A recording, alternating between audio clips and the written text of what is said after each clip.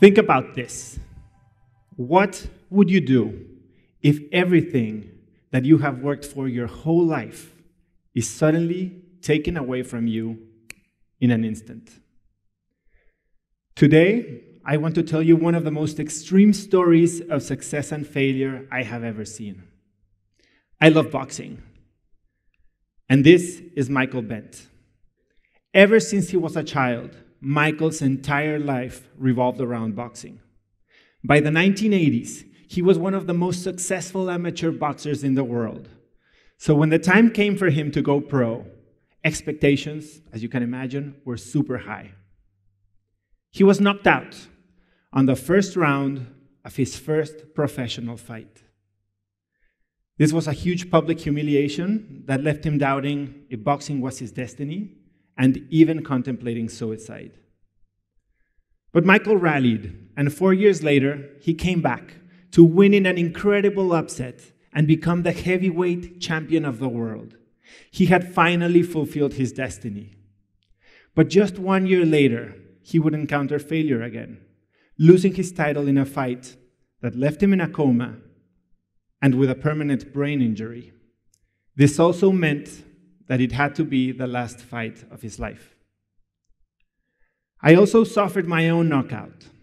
For many years, I worked very hard to achieve what I thought was my vision of success. In my 20s, I was president of my class in college. I got an MBA from a top 10 university. I worked in five different cities in four countries. In my 30s, I became an entrepreneur. I started two businesses, sold the first one, and received lots of professional acclaim.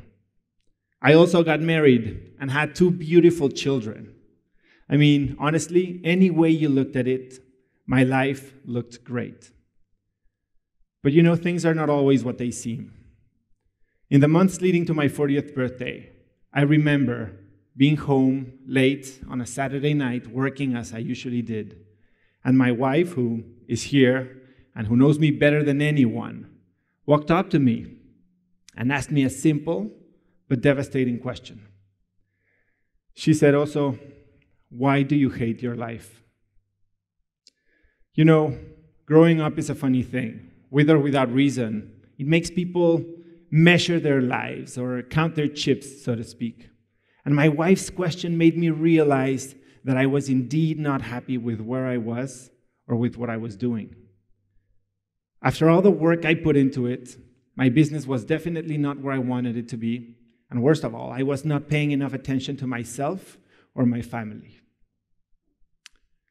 What I didn't tell you before is that Michael Bentt never even wanted to be a boxer.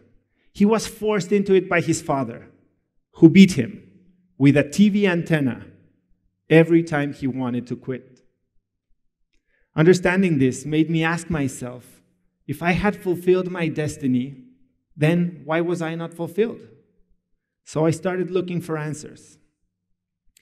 And you know, for many of us, destiny is defined by the results of an aptitude test in high school, or even worse, by the expectations of our families. We are born into rules and beliefs that, if not questioned, define our very lives. So I had to ask myself how was I complicit in creating the situations that I didn't like? Why was I living this way? Cicero, the Roman philosopher, says that there are two possibilities. Either you are in full control of your destiny, of your life, or you have no control over your life at all. And honestly, that was very confusing. So it wasn't very helpful either. So I turned to the dictionary and the dictionary definition of destiny is the hidden supreme power believed to be in control of everything that will happen in the future. Now, I couldn't agree with this definition either. I always thought I was in control and that I had the power to act. So the only possible explanation was that I was chasing after the wrong destiny. Why was I living compulsively? Why was I living reactively and not even aware of it? Like many people, I had beliefs that were preventing me from taking action and building the life I wanted. These beliefs are called cognitive biases, and they are systematic errors in thinking that affect our decisions and our judgment. We basically develop them to make sense of a crazy world. And then over time, we just forget that they're there.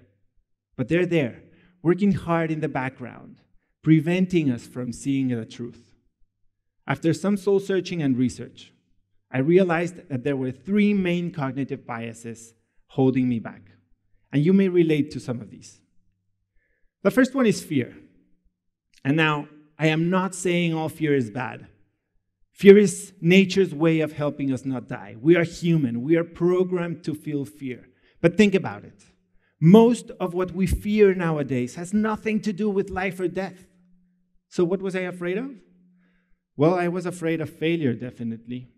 I was afraid of disappointing my family. But worst of all, I was afraid of what other people might, might think.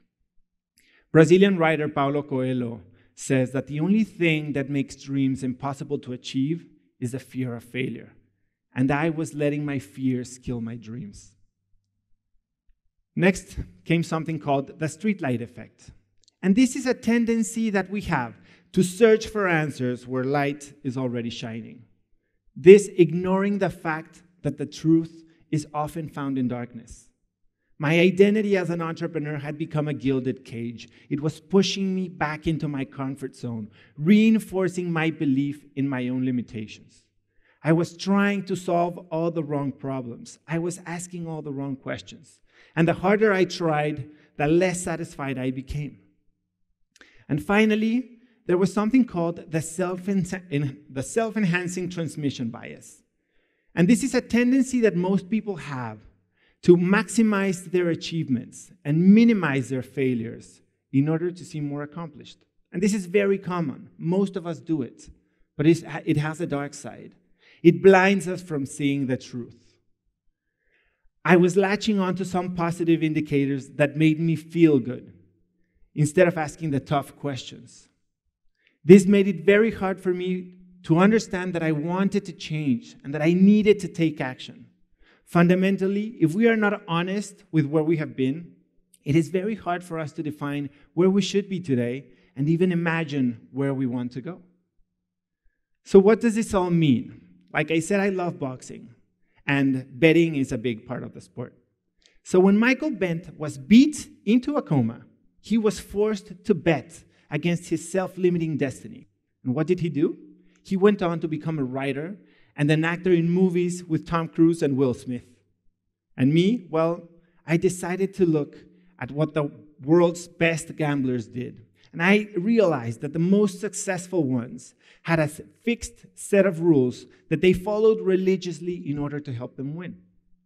So I decided to adapt my own set of rules to allow me and break free from my own biases. And these are my three rules for always beating destiny. Rule number one you have to know when to hold your hand and know when to fold it. This means you have to embrace change. Progress is impossible without change.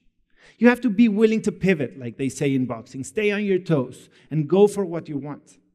After my wife's question, I started looking at my business with a wider lens. And I launched two new divisions that are well underway to becoming the future of the company. But most importantly, I faced my fear of what other people might think. And I launched a podcast in which I interview the brightest minds I can find to get the tricks and the tactics that help them be so successful. And lo and behold, the thing that I have found is that they are all extremely comfortable with change. Rule number two is you have to know when to walk away and know when to run. Michelangelo, the creator of the David, says that inside every block of stone there is a statue waiting to be revealed. And it is the task of the sculptor to set it free. Now, we are the sculptors of our own lives. So take your hammer and start chipping away. Be critical, be brutally honest, and discard anything that doesn't make you happy or help you grow. For me, this was very painful, but it meant stepping away from long standing relationships that were pulling me down instead of lifting me up. The thing is this the more aggressively you edit, the more time, energy, and heart, you will free up to make way for new things.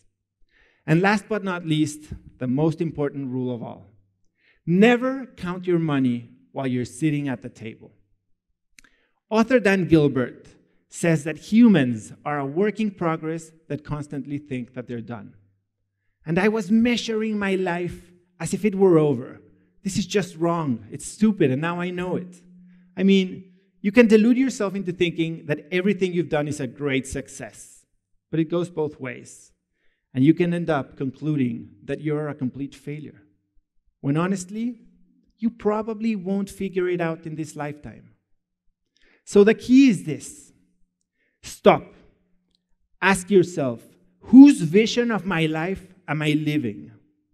Identify and discard the ideas and the beliefs that are holding you back and decide what's it going to take for you to be happy starting today. Once you do all this, if you still believe in destiny, you'll be able to see that you already have the power to be the champion of your own future. Thank you.